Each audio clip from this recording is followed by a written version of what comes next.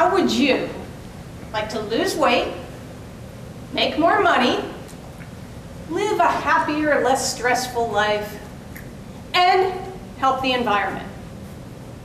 Sounds like a dream, huh?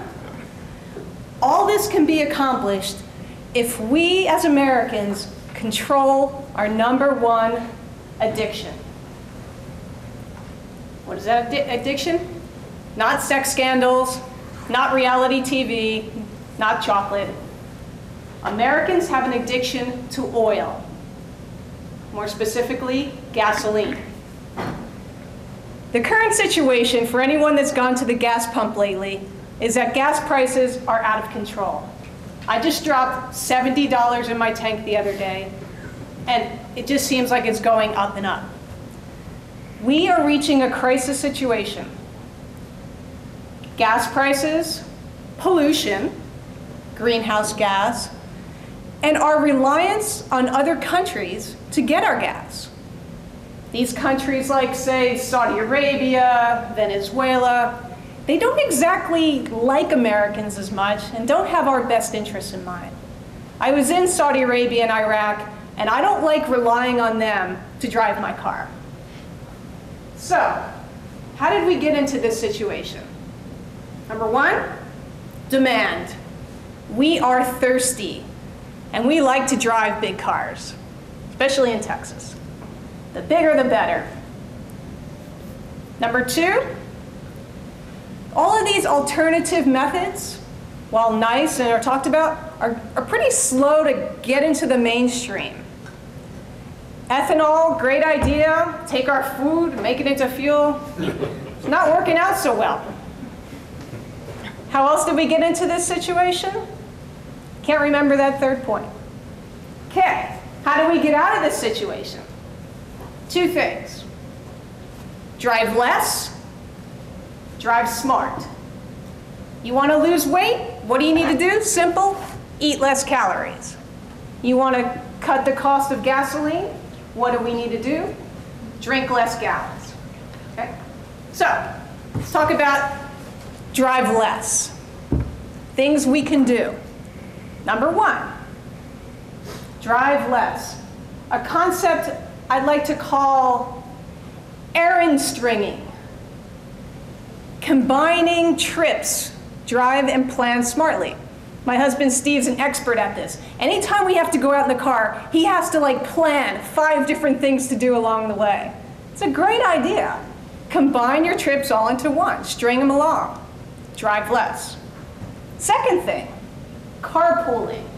This is a neat thing. I researched it a lot this week.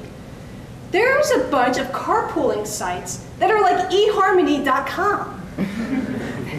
E-Ride Share, Shared Ride, Divide.com. You go to these sites, you click in where you live, area code, and where you need to commute, and there's 50 people there that want to carpool with you. So carpooling, less cars on the road. Another added benefit, you get to bond with people. You get to talk to people, less road rage. So I, I just think carpooling is a great idea. So a couple of the websites, just for your notes, the good ones, carpoolconnect.com, erideshare.com, and dividetheride.com. I thought that was neat, divide the ride. So not only can you have less road rage, use less gas, but might meet some friends along the way and bring them to a Toastmaster meeting. All right, so that's the driving less. What about the driving smart? Some of the things we can do is lighten up. I remember as a child in the 1970s, these long gas lines. And as a result, we started wanting and buying smaller cars. What happened to that? Why suddenly in the 1990s did we forget all of that and start building a Ford Expedition, which I think is obscene, and I'm sorry for anyone that owns one, but that's a little bit too big for my taste. Hummers? Oh my gosh. Having driven them in the Army, I don't want to go anywhere near a Hummer. So, driving light. We need to get back to lighter, more fuel-efficient cars. And I was very encouraged the other day when I saw a billboard that said, I want my MPG. Like the song, I Want My MTV? Love it. So that's encouraging. Hybrids are coming. Drive light. Another thing near and dear to my heart, bicycling. I used to commute to work. I got this handy dandy map of Austin that shows all of these bike routes where you can travel north and south, east and west. Now Austin is, is not that big of a city where people can't commute to work on their bicycle. Take the cars off the road, save the planet, get healthier, lose weight. See how this all coming together? One big wonderful dream. So, these are some of the things we can do. Another one would be hybrid cars. Encouraged, anyone here have a Toyota Prius or a hybrid car? One? Only one. But there are a lot of people in Austin specifically, Southern California, more and more people driving a Prius or something like that. Good friend of mine wants to get an electric car. There are electric cars now, one charge, 60 miles. Not bad, and it also has gas. So those are some of the things you can think about on driving smarter.